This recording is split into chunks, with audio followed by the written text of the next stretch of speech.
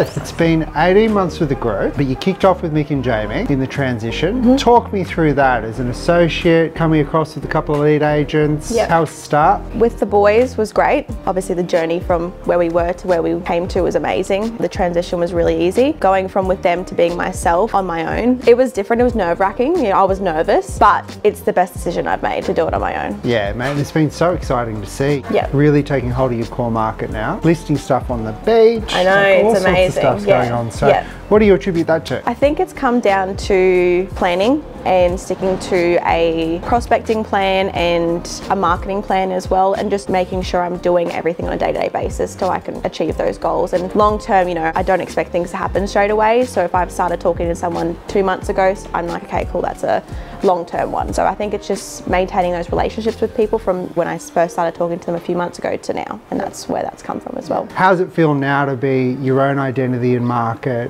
and and have that responsibility and opportunity?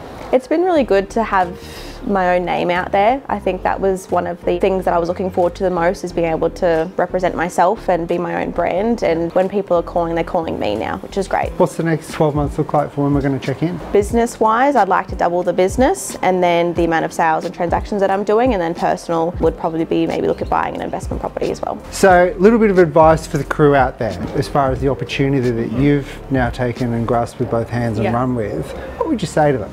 Do it.